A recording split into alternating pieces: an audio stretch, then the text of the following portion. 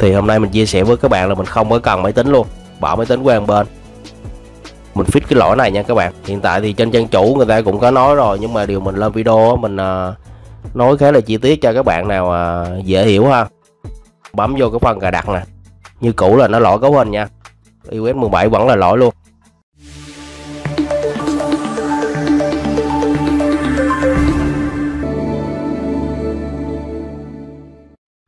Alo xin chào các bạn.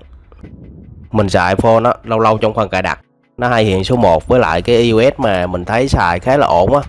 À, mà nó có cái phiên bản mới á, mình không thích cập nhật hoặc là mình sợ lỡ bấm hay là cập nhật qua đêm gì đó mà mình khóa như thế nào á. Lúc trước á, là mình vô Safari nè mình vô cái trang à, beta profile á các bạn. Rồi mình uh, kéo lên cái phần mà phía dưới á, của cái trang web á. Nó có cái block OTA rồi mình bấm vô tải cái cấu hình về là mình chặn được thôi. Thì à, hôm nay mình bấm vô thử coi thử nó có tải về được không nha các bạn.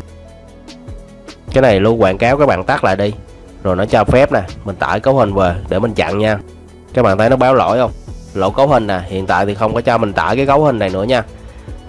Nếu có máy tính á, thì các bạn ghim vô máy tính để mình mở bao tool lên coi mình chặn bằng cái tool của thử được nha các bạn. Điều hướng qua cái toolbox nè rồi cái mục mà stop OTA như này các bạn. Các bạn bấm vô. Lúc trước là nó tải cho mình một cái cấu hình nha. Bây giờ là nó cũng không có tải được các bạn thấy nó báo lỗi nè. Cái máy này thì iOS 16 thôi. Để mình thử cái con ờ, iOS 17 coi thử cái bao tool đó nó có gửi cấu hình về để mình chặn không nha. Máy này thì uh, iOS 17 nè iPhone 11 để mình ghim vô.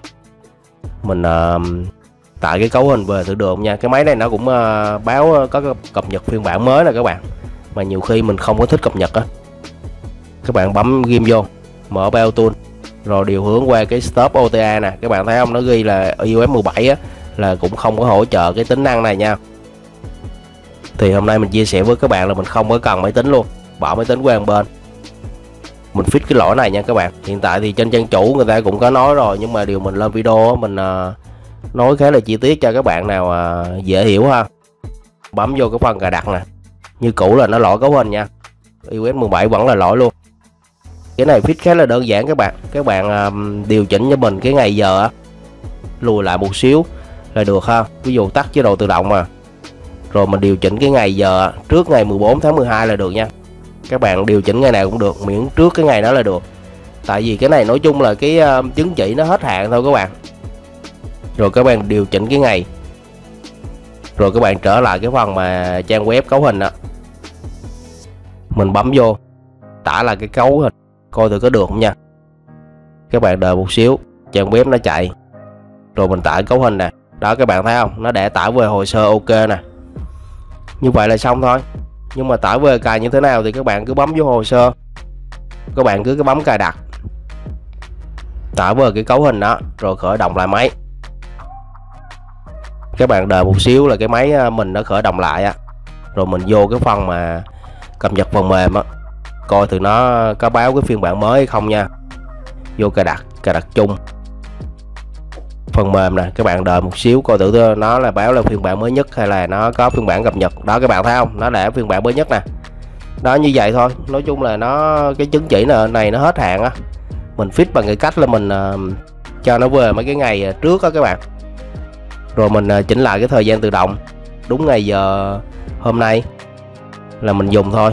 Bấm vô lại tự coi này, đó, các bạn thấy không? Như vậy là an toàn nha. Rồi khi nào mà mình muốn à, cập nhật á, các bạn vô phần à, cài đặt cấu hình. Xóa lại cái cấu hình đó đi. Mình bấm xóa cấu hình luôn. Khi bấm xóa cấu hình nó kêu khởi động lại, mình bấm để sau cũng được các bạn. Rồi mình trở lại cài đặt trong phần cập nhật phần mềm là nó hiện lại cái phiên bản mới nhất cho mình các bạn thích thì các bạn cập nhật nha. Rồi, ok, xin chào các bạn.